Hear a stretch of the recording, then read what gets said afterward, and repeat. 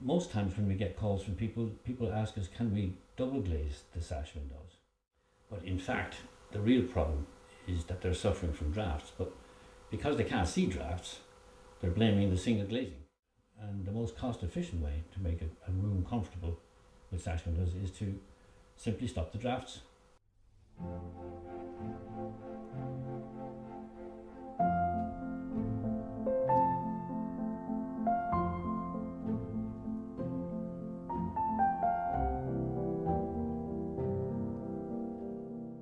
So before we started working on this window, this room was suffering from a lot of heat loss. About 80% of the heat loss was because of drafts coming through the sashes, between the sashes and the frames. So while we were working on the window, we also incorporated a brush pile system of brushes around the sashes to stop those drafts. So effectively, we cut grooves into the sashes so that we could put in the brushes on the bottom of the bottom sash on the middle rail where the two sashes meet, on the top of the top sash, and then on the sides down here where you can see the brush piles are laid into the timber.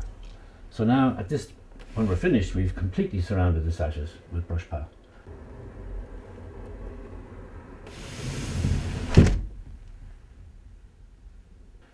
We've done the same for the top sash, surrounded him with brushes, and now the whole window is draft proof.